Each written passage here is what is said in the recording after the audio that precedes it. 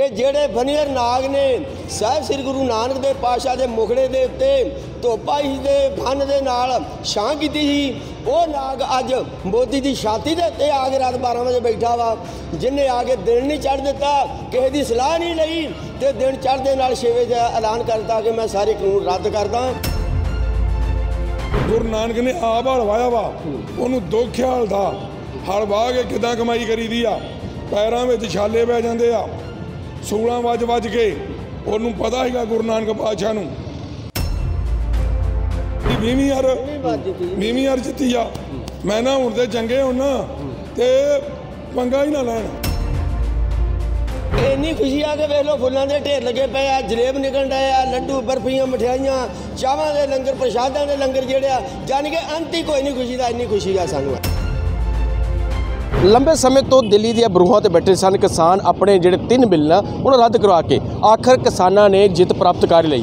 ਜਿਹੜੇ ਤਿੰਨ ਬਿੱਲ ਹੈਗੇ ਨੇ, ਉਹ ਰੱਦ ਹੋ ਗਏ ਨੇ। ਤੇ ਜਿੱਥੇ ਅੰਮ੍ਰਿਤਸਰ ਦੀ ਗੱਲ ਕੀਤੀ ਜਾਵੇ, ਟੂਲ ਪਲਾਜ਼ਾ ਦੇ ਉੱਤੇ ਕਾਫੀ ਜਿਹੜਾ ਧਰਨਾ ਹੈ, ਇਹਨਾਂ ਦੇ ਵੱਲੋਂ ਲਗਾਇਆ ਗਿਆ ਸੀ ਕਿਸਾਨਾਂ ਦੇ ਵੱਲੋਂ। ਹੁਣ ਜਿਹੜਾ ਕਿ ਅੱਜ ਜਿਹੜੀ ਹੈ ਕਿ ਸਮਾਪਤੀ ਕੀਤੀ ਜਾਵੇਗੀ, ਇੱਕ ਸਾਹਿਬ ਤੇ ਜਿਹੜੀ ਜਿੱਤ ਪ੍ਰਾਪਤ ਹੋਈ ਆ, ਉਸ ਦੀ ਖੁਸ਼ੀ ਦੇ ਵਿੱਚ ਸੁਖਨੀ ਸਾਹਿਬ ਦੇ ਪਾਠ ਕਰਾਏ ਜਾ ਰਹੇ ਨੇ ਜਗ੍ਹਾ ਜਗ੍ਹਾ ਜਿੱਥੇ ਜਿੱਥੇ ਧਰਨੇ ਲੱਗੇ ਸਨ। ਉਹਦੀ ਖੁਸ਼ੀ ਦੇ ਵਿੱਚ ਲੰਗਰ ਵੀ ਕਾਫੀ ਲਗਾਏ ਗਏ ਨੇ, ਮਿੱਠ- ਜਲੇਬਾਂ ਦਾ ਲੰਗਰ ਲਗਾਏ ਜਾਣਗੇ ਤੇ ਜਿਹੜੇ ਇੱਥੋਂ ਦੇ ਰਾਹਗਰ ਕਿਸਾਨ ਦਿੱਲੀ ਦੇ ਸਰਹੱਦਾਂ ਤੋਂ ਗੁਰੂ ਦੀ ਨਗਰੀ ਅੰਮ੍ਰਿਤਸਰ ਦੇ ਵਿੱਚ ਪਹੁੰਚਣਗੇ, ਉਹਨਾਂ ਦਾ ਨਿੱਘਾ ਸਵਾਗਤ ਕੀਤਾ ਜਾਵੇਗਾ ਇਹਨਾਂ ਕਿਸਾਨ ਜਥੇਬੰਦੀਆਂ ਦੇ ਵੱਲੋਂ। ਦੇਖ ਸਕਦੇ ਹੋ, ਤਸਵੀਰਾਂ ਦੇ ਵਿੱਚ ਟੈਂਟ ਵਗੈਰਾ ਲਗਾ ਦਿੱਤੇ ਗਏ ਨੇ। ਥੋੜੇ ਚਿਰ ਤੱਕ ਜਿਹੜਾ ਕਿ ਸੁਖੜੀ ਸਾਹਿਬ ਦਾ ਪਾਠ ਰਖਾਇਆ ਜਾਵੇਗਾ, ਕਿਸਾਨਾਂ ਦੀ ਜਿੱਤ ਵਾਸਤੇ। ਕਿਤੇ ਨਾ ਕਿਤੇ ਕੇਂਦਰ ਸਰਕਾਰ ਝੁਕਦੀ ਨਜ਼ਰ ਆ ਰਹੀ ਹੈ ਦੇਖ ਸਕਦੇ ਹੋ ਕਿ ਕਿਸਾਨਾਂ ਦੇ ਵਿੱਚ ਖੁਸ਼ੀ ਦੀ ਲਹਿਰ ਕਾਫੀ ਦਿਖ ਰਹੀ ਆ। ਜਿਹੜੇ ਪੱਕੇ ਮੋਰਚੇ ਲਗਾਏ ਸਨ, ਕਿਸਾਨਾਂ ਨੇ ਕਿਹਾ ਸੀ, ਜ- ਪੱਕੇ ਮੋਰਚੇ ਉਦੋਂ ਚੁੱਕੇ ਜਾਣਗੇ ਜਿੱਦਨ ਜਿੱਤ ਪ੍ਰਾਪਤ ਹੋਵੇਗੀ। ਤਾਂ ਕਿਸਾਨਾਂ ਨੇ ਆਖਰ ਜਿੱਤ ਪ੍ਰਾਪਤ ਕਰ ਹੀ ਲਈ ਆ। ਤੇ ਉਸ ਦੀ ਖੁਸ਼ੀ ਦੇ ਵਿੱਚ ਵੱਖਰੀ ਵੱਖਰੀ ਜਥੇਬੰਦੀਆਂ ਦੇ ਵੱਲੋਂ ਸੁਖਨੀ ਸਾਹਿਬ ਦੇ ਪਾਠ ਕਰਾਏ ਜਾ ਰਹੇ ਨੇ। ਕਿ- ਕਿਸਾਨ ਆਗੂ ਵੀ ਸਾਡੇ ਨਾਲ ਮੌਜੂਦ ਉਹਨਾਂ ਨਾਲ ਗੱਲਬਾਤ ਕਰਦੇ ਆ ਕਿ ਕਿਸਾਨਾਂ ਦਾ ਕੀ ਕਹਿਣਾ ਵਾ। ਕਿਉਂਕਿ ਲੰਬੇ ਸਮੇਂ ਤੋਂ ਸਭ ਤੋਂ ਪਹਿਲਾਂ ਆਪਣਾ ਨਾਮ ਦੱਸ ਕੇ ਜੀ ਸਰਦਾਰ ਦਿਲਬਾਗ ਸਿੰਘ ਜੀ ਪਿੰਡ ਰਾਜੇਵਾਲ। ਸਰਪੰਚ ਸਾਹਿਬ ਲੰਬੇ ਸਮੇਂ ਤੋਂ ਦਿੱਲੀ ਦੇ ਬਰੂਹਾਂ ਤੇ ਕਿਸਾਨ ਬੈਠੇ ਸੀ ਕਿ ਆਖਰ ਤਿੰਨ ਬਿੱਲ ਰੱਦ ਕਰਵਾ ਕੇ ਰਵਾਂਗੇ। ਉਹ ਆਖਰ ਜਿੱਤ ਪ੍ਰਾਪਤ ਕਰ ਲਈ ਕਿਸਾਨਾਂ ਨੇ। ਮੈਂ ਨਾ ਜੀ ਜਿੱਤ ਪੂਰੀ ਫੁੱਲ। ਜਿਹਨੂੰ ਜਿੱਤ ਕਹਿੰਦੇ ਆ ਮਤਲਬ ਕੋਈ ਬਿੱਲ ਸਾਡਾ ਨਹੀਂ ਸਾਡੇ ਮਨ 'ਚ ਰਹਿ ਗਿਆ। ਕਿ ਜਿਹੜਾ ਨਹੀਂ ਰਹਿ ਗਿਆ ਸਾਰੇ ਮਹਾਰਾਜ ਨੇ ਕਿਰਪਾ ਕਰਤੀ ਆ। ਲੱਗਦਾ ਕਿ ਕਿਤੇ ਨਾ ਕਿਤੇ ਕੇਂਦਰ ਸਰਕਾਰ ਝੁਕਦੀ ਨਜ਼ਰ ਆਈ। ਆ ਤੁਸੀਂ ਵੇਖ ਲਓ ਚੈਨਲਾਂ ਵਾਲੇ ਕਿਉਂ ਨਹੀਂ ਦੱਸਦੇ? ਝੁਕੀ ਨਹੀਂ ਤੇ ਹੋਰ ਕੀ ਹੋਇਆ? ਪੂਰੀ ਝੁਕੀ ਆ। ਜਿਹੜਾ ਜਿਹੜੇ ਗੁਰੂ ਨਾਨਕ ਨੂੰ ਛਾਂ ਕੀਤੀ ਸੀ ਨਾ ਨਾਗ ਨੇ ਉਹ ਨਾਗ ਨੇ ਇਹਨੂੰ ਰਾਤ ਸੌਣ ਨਹੀਂ ਦਿੱਤਾ।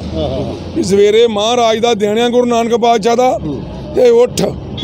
ਇਹ ਬਿੱਲ ਮਾਫ ਕਰ ਉਹ ਜਿਹੜਾ ਇੰਨਾ ਸਿੱਖ ਬੈਠਾ, ਸਿੰਘ ਬੈਠਾ, ਕਿਸਾਨ ਬੈਠਾ ਵਾ, ਹਲ ਵਾਹੁਣ ਵਾਲਾ, ਗੁਰੂ ਨਾਨਕ ਨੇ ਆਪ ਹਲਵਾਇਆ ਵਾ, ਉਹਨੂੰ ਦੁੱਖ ਹਲਦਾ। ਹਲਵਾ ਕੇ ਕਿਦਾਂ ਕਮਾਈ ਕਰੀਦੀ ਆ? ਪੈਰਾਂ ਵਿੱਚ ਛਾਲੇ ਪੈ ਜਾਂਦੇ ਆ। ਸੂਲਾਂ ਵੱਜ ਵੱਜ ਕੇ, ਉਹਨੂੰ ਪਤਾ ਹੈਗਾ ਗੁਰੂ ਨਾਨਕ ਪਾਤਸ਼ਾਹ ਨੂੰ। ਦਿਨ ਚੜ੍ਹਦੇ ਨੂੰ ਵੇਖ ਲਓ, ਕਿਸੇ ਦੀ ਸਲਾਹ ਨਹੀਂ ਲਈ, ਕੋਈ ਗੱਲ ਨਹੀਂ, ਕੋਈ ਬਾਤ ਨਹੀਂ। ਦਿਨ ਚੜ੍ਹਦੇ ਨੂੰ ਕਰਤੇ ਸਾਰੇ ਮਾਪ। ਲੱਗਦਾ ਕਿ ਜਿਨ੍ਹਾਂ ਦੀ ਵੱਡੀ ਵੱਡੀ ਅੜੀਆਂ ਵਾ ਉਹ ਕਿਤੇ ਨਾ ਕਿਤੇ ਸਿੱਖ ਕੌਮ ਦੇ ਵਿੱਚ ਕਾਫੀ ਝੜੀਆਂ। ਪੂਰੀਆਂ ਝੜੀਆਂ ਜੀ। ਥੋੜੀਆਂ ਨਹੀਂ ਪੂਰੀਆਂ ਝੜੀਆਂ। ਜਿਹੜੇ ਉਹ ਇਹਦੇ ਨਾਲ ਕਈ ਦਾਲੀ ਬਦਾਲੀ ਵਰਗੇ ਲੱਗੇ ਫਿਰਦੇ ਸੀ ਝੜ ਗਏ ਸਾਰੇ। ਤੇ ਹੁਣ ਖੁਸ਼ੀ ਕਿੱਦਾਂ ਯਾਰ ਕੀਤੀ ਜਾ ਰਹੀ ਹੈ? ਮੈਂ ਨਾ ਖੁਸ਼ੀ ਆਵੇ ਸੁਖਮਨੀ ਸਾਹਿਬ ਦਾ ਪਾਠ। ਟੈਂਟ ਲੱਗਣ ਡਏ ਆ। ਮਠਿਆਈਆਂ ਬਣ ਡਈਆਂ ਜਲੇਬ ਬਣ ਡਏ ਆ। ਤੇ ਆ ਸੰਗਤਾਂ ਆਉਣ ਡਈਆਂ ਕਿਸੇ ਅੰਦਰ ਗੁਲਾਬ ਦੇ ਫੁੱਲ ਵੇਖੋ ਦੰਦੇ ਲਾਏ ਆ। ਵਰਛਾ ਕੇ ਫੁੱਲ ਫੇਰ ਸੰਗਤਾਂ ਨੂੰ ਗਾਂ ਘਲਾਉਣ ਡਿਆ ਸਾਡੇ ਭਰਾ ਜਿੱਤ ਕੇ ਆਏ ਆ। ਲੱਗਦਾ ਕਿ ਦਿੱਲੀ ਜਿੱਤ ਲਈ ਇੱਕ ਵਾਰੀ ਫਿਰ। ਮੈਂ ਨਾ ਜੀ 20ਵੀਂ ਯਾਰ 20ਵੀਂ ਯਾਰ ਜਿੱਤੀ ਆ।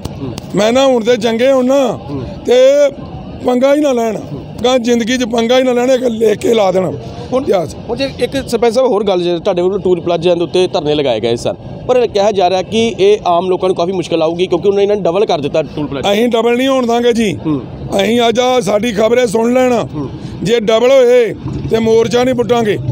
ਇੱਥੇ ਲੱਗਾ ਰਹੂਗਾ। ਜਿੰਨੇ ਪੈਸੇ ਅੱਗੇ ਆ ਉਹਨੇ ਪੈਸੇ ਲੱਗਣਗੇ। ਤੇਲ ਸਰਕਾਰ ਨੇ ਮਹਿੰਗਾ ਕੀਤਾ ਕਿ ਇਹਨਾਂ ਕੀਤਾ? ਇਹਨਾਂ ਦੀ ਕਾਦੀ ਮਹਿੰਗਾਈ ਆ? ਜਿੰਨੇ ਠੇਕਾ ਲਿਆ ਵਾ ਉਹਨੂੰ ਠੇਕਾ ਮਹਿੰਗਾ ਨਹੀਂ ਮਿਲਿਆ। ਉਹਨੇ ਉਦੋਂ ਘੱਟ ਮਿਲਿਆ ਵਾ। ਪਰ ਅਸੀਂ ਇਹ ਵੀ ਜਿਹੜੇ ਆ ਇੱਥੋਂ ਦੇ ਗਦਾਰ ਬੰਦੇ ਅਸੀਂ ਉਹਨਾਂ ਨੂੰ ਵੀ ਨਹੀਂ ਅੱਗੇ ਆਉਣ ਦਾਂਗੇ। ਬਿਲਕੁਲ ਜੀ ਹੋਰ ਵੀ ਕਿਸਾਨ ਆਗੂ ਮੌਜੂਦ ਨੇ। ਹਾਂਜੀ ਕੀ ਨਾਮ ਹੈ ਜੀ? ਵਾਹਿਗੁਰੂ ਜੀ ਕਾ ਖਾਲਸਾ ਵਾਹਿਗੁਰੂ ਫਤਿਹ। ਮੈਂ ਮੰਗਲ ਸਿੰਘ ਥਿੰਦ ਪਿੰਡ ਨਵਾਂਕੋਟ ਕਿਸਾਨ ਮੈਂਬਰਸ਼ਿਪ। ਗੁਰੂ ਪਿਆਰਿਓ ਅੱਜ ਜੋ ਬੜਾ ਹੀ ਸ਼ੁਭ ਦਿਹਾੜਾ। ਇਹ ਉਹ ਸ਼ੁਭ ਦਿਨ ਆ ਜਿਹੜੀ ਸਾਡੇ ਗੁਰੂ ਨਾਨਕ ਪਾਤਸ਼ਾਹ ਨੇ ਅੱਜ ਸਿੱਖ ਕੌਮ ਦੀ ਡੇਢ ਸਾਲ ਲਗਭਗ ਇਵਨ ਸਵਾ ਸਾਲ ਡੇਢ ਸਾਲ ਹੋ ਗਿਆ। ਕਿਸਾਨਾਂ ਦੀ ਮੰਗ ਸੀ ਕਿ ਜਿਹੜੇ ਮੋਦੀ ਸਰਕਾਰ ਨੇ ਕਾਲੇ ਕਾਨੂੰਨ ਲਾਗੂ ਕੀਤੇ ਸੀ ਉਹਨਾਂ ਨੂੰ ਰੱਦ ਕਰਾਉਣ ਵਾਸਤੇ ਜਦੋਂ ਜਦ ਕਿਸਾਨ ਜਿਹੜੇ ਦਿੱਲੀ ਦੇ ਬਾਰਡਰਾਂ ਤੇ ਕਰ ਰਹੇ ਸੀ। ਪਰ ਸਾਡੀ ਇਹ ਸਰਕਾਰ ਦਾ ਅੜੀਅਲ ਵਤੀਰਾ ਮੈਂ ਨਾ ਮਾਨੂ ਵਾਲੀ ਰੱਟ ਜਿਹੜੀ ਸੀ ਉਹ ਅੱਜ ਤੱਕ ਤੁਰੀ ਆ ਰਹੀ ਸੀ। ਪਰ ਕਿਸਾਨਾਂ ਨੇ ਇਹ ਤੈਯਾ ਕੀਤਾ ਸੀ ਕਿ ਜਿੰਨਾ ਚਿਰ ਜਿਹੜੇ ਕਾਲੇ ਕਾਨੂੰਨ ਰੱਦ ਨਹੀਂ ਹੋਣਗੇ ਅਸੀਂ ਦਿੱਲੀ ਦੇ ਬਾਰਡਰ ਨਹੀਂ ਛੱਡਾਂਗੇ। ਸਾਡੇ ਸਾਹਿਬ ਪਾਤਸ਼ਾਹ ਸਾਹਿਬ ਸ੍ਰੀ ਗੁਰੂ ਨਾਨਕ ਦੇਵ ਪਾਤਸ਼ਾਹ ਨੇ ਕਿਰਪਾ ਕੀਤੀ। ਉਹਨਾਂ ਦਾ ਪ੍ਰਕਾਸ਼ ਦਿਹਾੜਾ ਆਇਆ। ਸ਼ਾਇਦ ਅਸੀਂ ਇਹ ਮਹਿਸੂਸ ਕਰਦੇ ਹਾਂ ਕਿ ਜਿਹੜੇ ਬਨੀਅਰ ਨਾਗ ਨੇ ਸਾਹਿਬ ਸ੍ਰੀ ਗੁਰੂ ਨਾਨਕ ਦੇਵ ਪਾਤਸ਼ਾਹ ਦੇ ਮੁਖੜੇ ਦੇ ਉੱਤੇ ਧੋਪਾ ਹੀ ਦੇ ਫਨ ਦੇ ਨਾਲ ਛਾਂ ਕੀਤੀ ਸੀ, ਉਹ ਨਾਗ ਅੱਜ ਮੋਦੀ ਦੀ ਛਾਤੀ ਦੇ ਉੱਤੇ ਆ ਕੇ ਰਾਤ 12 ਵਜੇ ਬੈਠਾ ਵਾ, ਜਿਨੇ ਆ ਕੇ ਦਿਨ ਨਹੀਂ ਚੜ ਦਿੱਤਾ, ਕਿਸੇ ਦੀ ਸਲਾਹ ਨਹੀਂ ਲਈ ਤੇ ਦਿਨ ਚੜ੍ਹਦੇ ਨਾਲ 6 ਵਜੇ ਦਾ ਐਲਾਨ ਕਰਤਾ ਕਿ ਮੈਂ ਸਾਰੇ ਕਾਨੂੰਨ ਰੱਦ ਕਰਦਾ। ਇਸ ਕਰਕੇ ਅਸੀਂ ਕਹਿੰਦੇ ਜਿੰਨੀ ਕਿਰਪਾਈ ਆ, ਗੁਰੂ ਨਾਨਕ ਪਾਤਸ਼ਾਹ ਦੀ ਹੋਈ ਆ, ਗੁਰੂ ਨਾਨਕ ਦੀ ਗੱਦੀ ਦੀ ਹੋਈ ਆ, ਸਿੱਖ ਕੌਮ ਦੀ ਹੋਈ ਆ, ਸਮੁੱਚੇ ਹਿੰਦੁਸਤਾਨ ਦੀ। ਅੱਜ। ਖੁਸ਼ੀ ਕਿੱਦਾਂ ਜ਼ਾਹਿਰ ਕੀਤੀ ਜਾ ਰਹੀ ਹੈ ਜੀ? ਅੱਜ ਖੁਸ਼ੀ ਦਾ ਅੰਤ ਹੀ ਕੋਈ ਨਹੀਂ। ਅੱਜ ਇੰਨੀ ਖੁਸ਼ੀ ਆ ਕਿ ਵੇਖ ਲਓ ਫੁੱਲਾਂ ਦੇ ਢੇਰ ਲੱਗੇ ਪਏ ਆ ਜਲੇਬ ਨਿਕਲ ਰਹੇ ਆ ਲੱਡੂ ਬਰਫੀਆਂ ਮਠਿਆਈਆਂ ਚਾਵਾਂ ਦੇ ਲੰਗਰ ਪ੍ਰਸ਼ਾਦਾਂ ਦੇ ਲੰਗਰ ਜਿਹੜੇ ਆ ਜਾਣੀ ਕਿ ਅੰਤ ਹੀ ਕੋਈ ਨਹੀਂ ਖੁਸ਼ੀ ਦਾ ਇੰਨੀ ਖੁਸ਼ੀ ਆ ਸਾਨੂੰ ਅੱਜ। ਬਿਲਕੁਲ ਜੀ ਦੇਖ ਸਕਦੇ ਹੋ ਕਿ ਕਿਸਾਨਾਂ ਦੇ ਵੱਲੋਂ ਜਿਹੜਾ ਕੀ ਖੁਸ਼ੀ ਜ਼ਾਹਿਰ ਕੀਤੀ ਜਾ ਰਹੀ ਸੁਖਰੀ ਸਾਹਿਬ ਦੇ ਜਿਹੜੇ ਪਾਠ ਗਏ ਹੈਗੇ ਆ ਤੇ ਜਿਹੜੀ ਜਿੱਤ ਦੇ ਜਿਹੜੇ ਨਾਅਰੇਬਾਜ਼ੀ ਇਹ ਨਾਅਰੇ ਕੀਤੇ ਜਾ ਰਹੇ ਨੇ ਕਿ ਕਿਤੇ ਨਾ ਕਿਤੇ ਕਿਸਾਨਾਂ ਨੇ ਦਿੱਲੀ ਜਿੱਤੀ ਲਈ ਆ। ਇਹ ਕਿਸਾਨਾਂ ਨੂੰ ਇੱਕ ਗੱਲ ਹੋਰ ਕਹੀ ਜਾ ਰਹੀ ਹੈ ਕਿ ਜੇ- ਜਿਹੜੇ ਡਬਲ ਜਿਹੜੇ ਕਰਨਗੇ ਟੂਲ ਪਲਾਜ਼ਾ, ਉਹਨਾਂ ਦੇ ਉੱਪਰ ਜਿਹੜੀ ਕਿ ਬੰਦੀ ਕਾਰਵਾਈ ਵੀ ਕੀਤੀ ਜਾਵੇਗੀ। ਮਨਜਿੰਦਰ ਸਿੰਘ ਦੀ ਖਾਸ ਰਿਪੋਰਟ, ਅੰਮ੍ਰਿਤਸਰ।